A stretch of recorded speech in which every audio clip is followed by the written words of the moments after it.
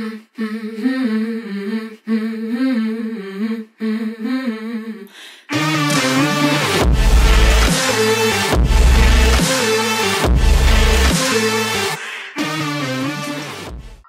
tiga bulan yang lalu saya di diajak ketemu iCat di Jogja. Waktu itu saya masih di Jogja. Mereka ngajak saya pameran ini terlibat dalam festival ini. Kalau konsepnya, idenya waktu itu belum seperti ini bentuknya. Malah yang saya mau buat pertama itu beratnya 4000 ton. Dan ada interaksinya juga. Ketika kita bicara sesuatu yang beratnya sebesar itu, kayaknya dengan interaksi kita butuh bukan cuman benda seni tapi juga benda yang safety juga. Akhirnya dalam proses saya ganti konsep gimana caranya supaya bisa bendanya masuk ke dalam dan tidak terlalu berat. Minimal tidak mengganggu struktur yang ada di dalam hotel. Terus besoknya saya ketemu lagi dan saya bilang e, tapi ini saya harus kolaborasi ya saya nggak bisa sendiri dengan ini karena ini bendanya akan besar oh iya memang seperti apa nanti ketemu dulu nanti saya ceritakan ketika kita ketemu saya nggak bawa sketch saya nggak bawa apa-apa saya cuma cerita bahwa dulu waktu kecil saya sering main di kebun. Teman saya itu pohon teman saya itu kucing kelinci ada ayam juga. Terus saya merasa bahwa mereka bisa dengar saya. Mungkin itu zaman sekarang aneh tapi ternyata memang adanya mereka bisa dengar kita kan? Akhirnya saya bikin bentuk baru saya bikin sketsnya yang sketsnya itu ketika lewati proses jadinya seperti ini dari situ pihak iCat suka dan saya bilang ini saya nggak bisa sendiri, saya nggak tahu mau ngerjakannya sama siapa, saya nggak tahu siapa yang kira-kira punya satu rasa, satu visi terhadap apa yang ingin saya bicarakan lewat bentuk karya ini. Terus mereka sempat langsung bilang, Fairo aja dulu. Fairo tuh kayak gimana? Apa? Saya belum tahu sama sekali. Ketika saya dikasih tahu, saya masih belum tahu caranya gabungin uh, apa yang saya buat dengan Fairo sama sekali nggak tahu.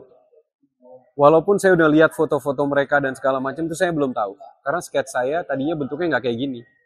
Uh, bentuk fasadnya tuh warnanya atau apa nggak seperti ini. Akhirnya kita coba untuk ketemu dan ketika saya ketemu saya datang langsung ke workshop ya. Itu ke workshop ya, ke workshopnya Fairo.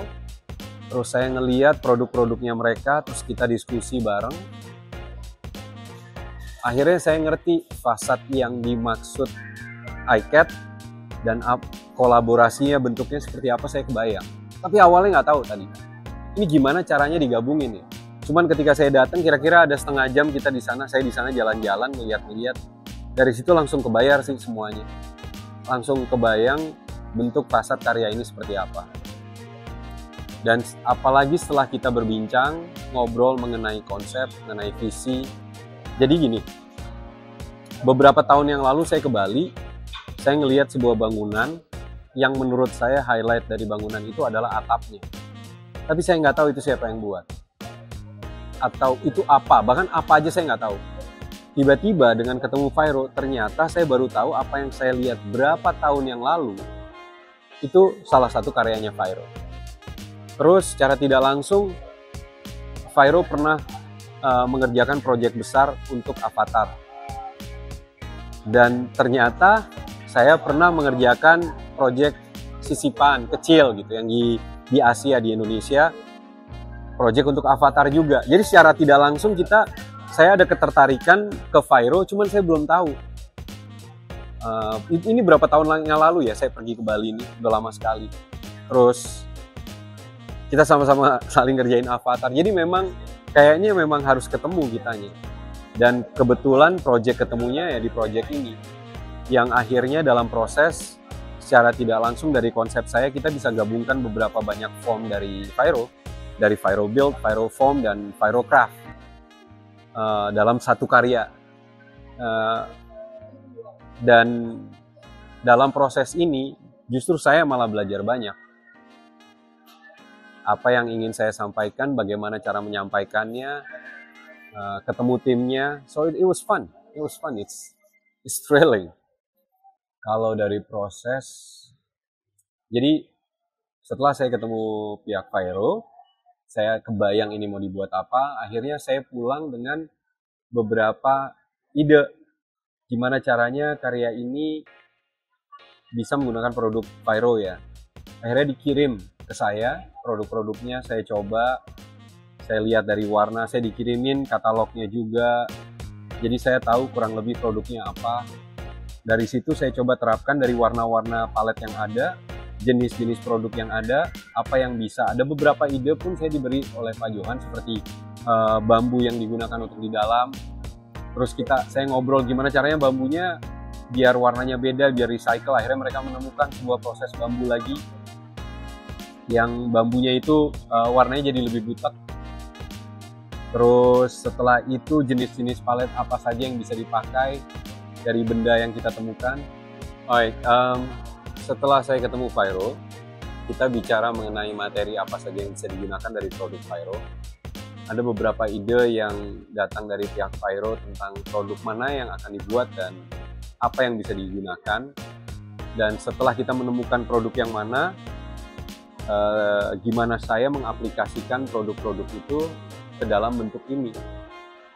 Itu pun juga sering kita dalam prosesnya ya, sering harus berdiskusi bareng kayak misalnya produk ini karakternya seperti apa, itu kan saya belum tahu. Akhirnya kita belajar bersama.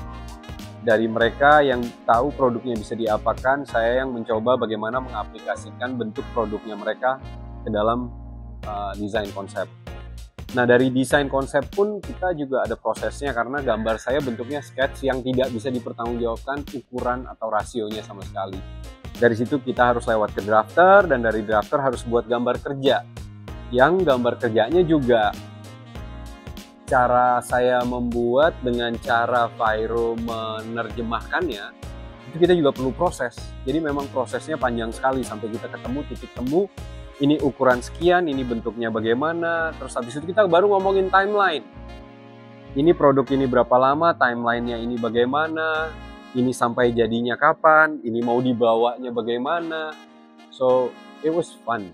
It was fun. Ini it's a lot of work, tapi yang satu hal yang men sangat menarik buat saya adalah saya belajar banyak sih dari project ini.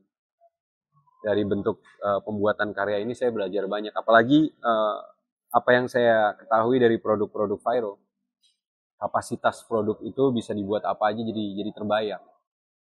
Waktu saya datang ke tempat workshop pembuatan struktur karya, ketika saya lihat strukturnya aja, saya kaget kagetnya tuh lebih ke kayak selama ini yang saya lihat itu tidak lebih besar dari sekian.